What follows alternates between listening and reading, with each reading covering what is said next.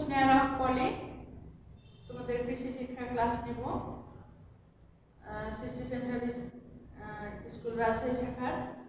আমি নবম শ্রেণির কৃষি শিক্ষা তোমাদের ক্লাস নেব।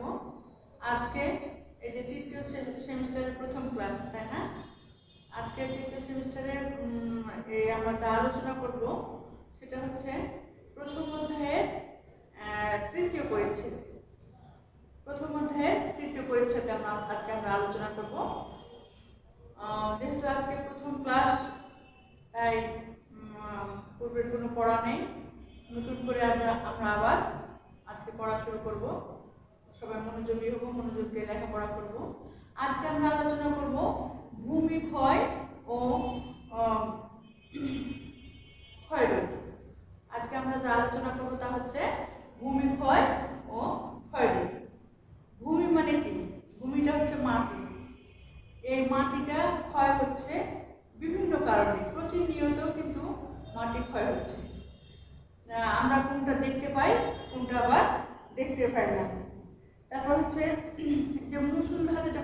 হয়।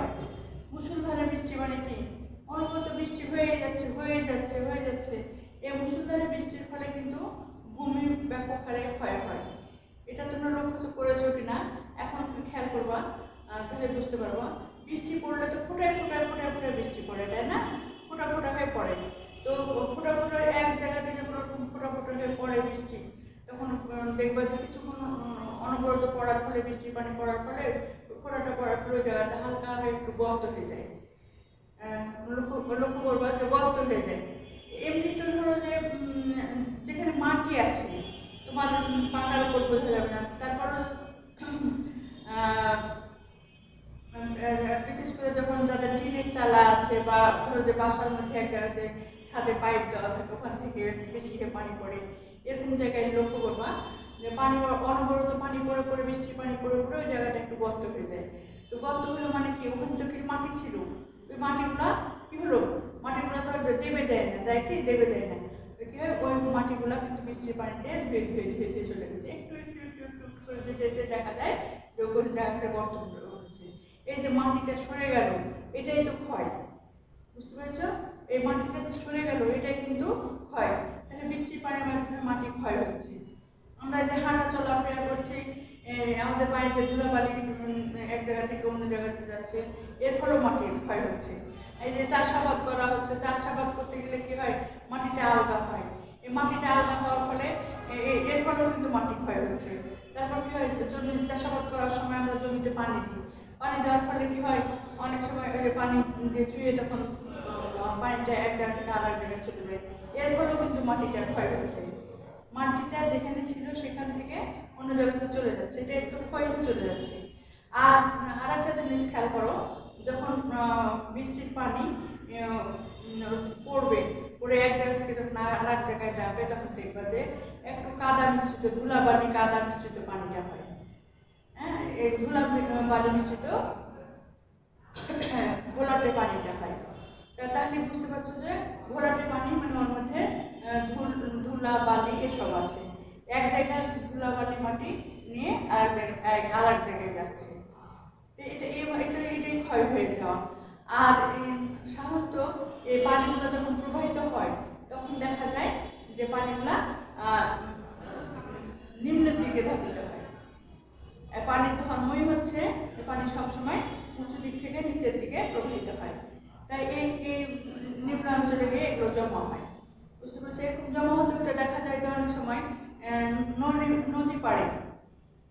অনেক সময় নদীতে প্রবাহ স্রোতের কারণে বা নদীর অনেক সময় ধাক্কা দেয়। ধাক্কা দেওয়ার ফলে কি হয়? নদীর পাড়টা ভেঙে যায়। আর বায়ু স্রোতে স্রোতে বায়ু প্রবাহের মাধ্যমে এইভাবে তখন দেখা যায় যে ওই যে নদী ভাঙনগুলো, তারপরে যে বিভিন্ন এলাকার পানিগুলো, বৃষ্টির পানির মাধ্যমে পানিটা নিয়ে যাচ্ছে, তো পানি তো শুধু যায় না। ওর সাথে কি ধুলা, মাটি, বালি, এগুলোও কিন্তু পানির সাথে সাথে চলে যায়। এর ফলে কি হয়, নদীতে অনেক সময় দেখা যায় যে চর জেগে ওঠে বা দ্বীপ ক্ষেত্র বিশেষে দ্বীপও হয়ে যায়। তো কীভাবে দ্বীপ হচ্ছে চর হচ্ছে, আশা করি তোমরা একটু বুঝতে পারলে এই তো এভাবে হচ্ছে। আর এই ভূমিক্ষয়ের মূল কারণ হচ্ছে, বিভিন্ন রকম কারণ হচ্ছে, তার মধ্যে বৃষ্টিপাত ঘূর্ণিবার্তা জমিতে ফসল চাষ তারপর যে ঘরবাড়ি নির্মাণ এই বিভিন্ন কাজে আমরা প্রতিনিয়ত ভূমিক্ষয় হচ্ছে। ফসল চাষ যখন আমরা করি, তখন তো মাটিটা আলগা করি, তখন এর ফলে কি হয়? ওই মাটিটা আলগা হয়ে থাকে, ওটা শক্ত বেড়ে থাকে না।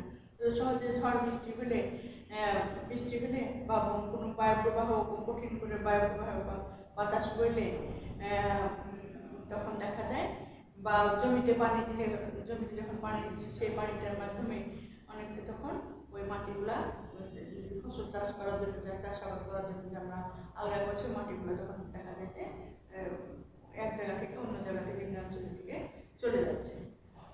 তাই এটাই হচ্ছে ভূমিক্ষয় এভাবে ভূমিক্ষয় হচ্ছে। যে আমরা হাঁটা চলাফেরার মাধ্যমে ভূমিক্ষয় হচ্ছে, আমরা যে প্রতিনিয়ত কিন্তু ভূমিক্ষয় হচ্ছে, আমরা এগুলো হয়তো লক্ষ্য করছি না। কিন্তু যখন দেখা যায় যে একটা উঁচু জায়গা আস্তে আস্তে দেখা যাচ্ছে যে নিচু হয়ে যাচ্ছে যখন নিচু হয়ে যায়, তখন আমাদের চোখে পড়ে। বুঝতে পেরেছ? তাহলে বলো তো ভূমিক্ষয় কীভাবে হচ্ছে? হ্যাঁ হ্যাঁ ওকে ওকে থ্যাংক ইউ খুব সুন্দর হয়েছে। এই তো, তাহলে কি? যে বায়ু প্রবাহের মাধ্যমে তারপর হচ্ছে বৃষ্টিপাতের মাধ্যমে মূলত ভূমিক্ষয়টা ক্ষয়টা বেশি আমরা লক্ষ্য করি। এই যে যখন দেখবা যে বাতাস উঠছে, খুব জোরে বাতাস আমরা বলি, যে খুব জোরে- বাতাস উঠছে, এটা বায়ু প্রবাহটা বেশি তখন দেখা যায় যে চোখে মুখে বাইরে থাকলে চোখে মুখে ধুলাবালি এসে মুখে লাগে, তাই- না? তো এই যে ওগুলো ধুলাবালিতে এক্সট্রা করে কোথাও রাখা থাকে না? ওই যে ভূমিতে যে থাকে, ওই মাঠ ওইগুলো তো উড়ে, বাতাসের মাধ্যমে উড়ে এসে আমাদের চোখে মুখে লাগে। ঠিক এভাবে এক জায়গায় ধুলাবালি মাটি উড়িয়ে নিয়ে গিয়ে আর এক জায়গায় জমা হয়। তো যেই জায়গা থেকে নিয়ে গেল, সেই জায়গাতে তো ভূমিক্ষয় হলো। ক্ষয় হলো না? তাই এটাকে বলছে ভূ- ভূমিক্ষয় তাহলে এই ভূমিক্ষয়ের কিন্তু প্রকার হয়ে গেছে। ভূমিক্ষয় প্রকৃতপক্ষে প্রকৃতপক্ষে ক্ষয় হচ্ছে কি? প্রাকৃতিক ভূমিক্ষয় আর হচ্ছে মনুষ্য কর্তৃক ভূমিক্ষয়। ভূমিক্ষয় প্রকার ভেদ হচ্ছে মূলত দুই প্রকার। একটা হচ্ছে প্রাকৃতিক ভূমিক্ষয় আর হচ্ছে মনুষ্য কর্তৃক ভূমিক্ষয়। প্রাকৃতিকভাবে যে একটা ভূমিক্ষয় হয়ে যায় এখন আমরা আলোচনা করি প্রাকৃতিকভাবে কীভাবে ভূমিক্ষয় হচ্ছে। প্রাকৃতিকভাবে ভূমিক্ষয় প্রকৃতিগত কারণে হয়ে যাচ্ছে। প্রাকৃতিক ব্যাপকভাবে প্রাকৃতিকভাবে ভূমিক্ষয় হয়। আর ভূসৃষ্টির শুরু থেকে কিন্তু এই ভূমিক্ষয়টা হয়ে আসছে। আর নদীর মোহনায় বা সমুদ্রে চর সৃষ্টি করছে ভূমিক্ষয়ের মাধ্যমে। আর ভূমিক্ষয়ের ফলে পৃথিবীতে অনেক অনেক সময় ভূমিক্ষয়ের মাধ্যমে পৃথিবীতে অনেক অনেক অঞ্চল উর্বর হয় আবার অনেক অঞ্চল অনুর্বর হয়ে যায় উর্বরতা নষ্ট হয়ে যায়। তাহলে হচ্ছে কি আহ, বায়ু প্রবাহ ও বৃষ্টিপাত হচ্ছে ভূমিক্ষয়ের মূলত মূল কারণ। বায়ু প্রবাহ বৃষ্টিপাতের মাধ্যমে ভূমিক্ষয় হয়। এজন্য উম, মাটির ক্ষয় মাটির ক্ষয় হয়। আর সামান্য পরিমাণে হয়, যখন যেটা বায়ু প্রবাহের মাধ্যমে এটা আমাদের সচরাচর চোখে পড়ে না। যখন বেশি হয়ে যায়, তখন আমাদের চোখে পড়ে।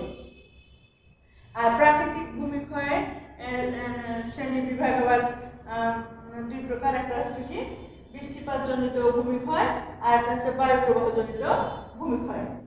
একটা কি হচ্ছে বৃষ্টিপাত জনিত ভূমিক্ষয় আর একটা হচ্ছে বায়ু প্রবাহ জনিত ভূমিক্ষয়। এগুলো প্রাকৃতিক প্রাকৃতিক ভূমিক্ষয়ের প্রকারভেদ বৃষ্টিপাতের ফলে অনেক সময় ভূমিক্ষয় হয়েছে তো বললাম, আশা করি তোমাদের মনে আছে।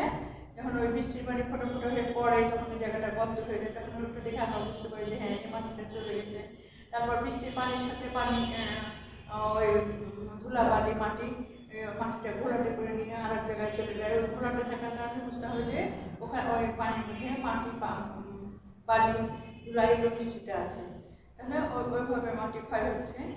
তারপর হচ্ছে বায়ু প্রবাহজনিত যখন খুব জোরে ঝড় বৃষ্টি খুব জোরে যখন বায়ু প্রবাহ হয় তখন দেখা যায় উম, বায়ু প্রবাহ যখন হয় তখন বায়ু প্রবাহের মাধ্যমে ও ধুলাবালি উড়ে গিয়ে এক জায়গা থেকে আর এক জায়গায় বসে। এটা আমরা সহজে অনুধাবন করতে পারি যখন হয়তো খুব- বাতাস বইছে আমরা যদি বাইরে দাঁড়িয়ে থাকি তখন দেখা যাচ্ছে আমাদের চোখে ধুলি কলা বালি চোখ চোখে উঠে এসে লাগছে। ওই এক জায়গায় চলে যায়। এবার বৃষ্টিপাত আহ, বৃষ্টিপাত জনিত ভূমিক্ষয়। উম, ভূমিক্ষয় আবার চার প্রকার। বৃষ্টিপাতের ফলে যে হয় এটা এটার আবার প্রকার আছে। এই বৃষ্টিপাতের ফলে যে আছে এটার প্রকার এক নম্বর হচ্ছে আস্তরণ ভূমিক্ষয় দুই নম্বর হচ্ছে ভূমিক্ষয় তিন নম্বর হচ্ছে নালা বা গালি চার নম্বর হচ্ছে নদী ভাঙ্গন এই বৃষ্টিপাতের ফলে যে ভূমিক্ষয়টা হয়, এর প্রকার ভেদ আবার এই চারটা। তা আস্তরণ ভূমিক্ষয়, প্রথমে আলোচনা করি, আস্তরণ। আস্তরণ মানে কি?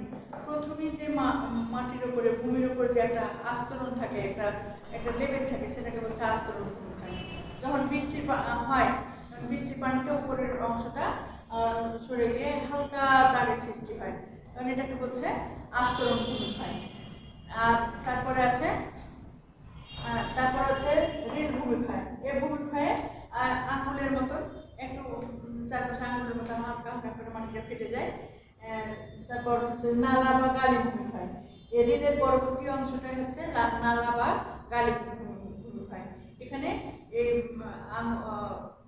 রিল ভূমিক্ষয় ক্ষয় যে হাতের রেখার মতো ফাঁকা হয়েছিল, ওটা আর একটু বড় হয়ে চড়া হয়। থেকে দেখে মনে হবে যে নদী নালা কিছু আছে, তার জন্য এটাকে বলা হচ্ছে নালা বা বুকারি ভূমিক্ষয় তারপর আছে নদী ভাঙ্গন। নদী ভাঙ্গন ভূমিক্ষয়ের একটা মস্ত বড় কারণ। নদী, বিশেষ করে সিরাজগঞ্জ এই অঞ্চলে দেখা যায় যে প্রতি বছর বন্যার সময় নদী ব্যাপক হারে নদী ভাঙ্গন ঘটে। এর ফলে দেখা যায় যে বিস্তীর্ণ এলাকা একদম চাপ চাপ হয়ে নদীর পাড়গুলো ভেঙে ভেঙে নদী গর্ভে ভেঙে ভেঙে যায়। এই তো এভাবে ভূমিক্ষয় হয়। আশা করি তোমরা ক্লাসটা বুঝতে পারলে। তোমাদের কোনো অসুবিধা থাকলে বলতে পারো। আচ্ছা ঠিক আছে। এবার দেখো, তোমাদের হোমওয়ার্কটা হচ্ছে। এই যে এই যে বৃষ্টিপাত জনিত ভূমিক্ষয়টা বর্ণনা করবা হোমওয়ার্কটা লিখছি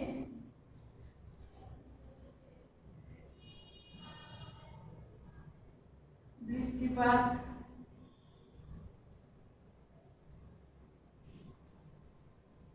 জনিত ভূমিক্ষয় খুব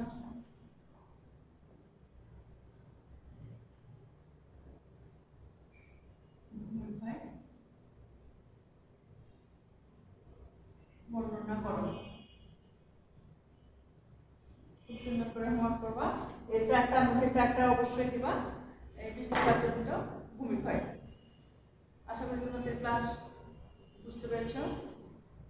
ভালো থেকো সবাই আল্লাহ হাফেজ।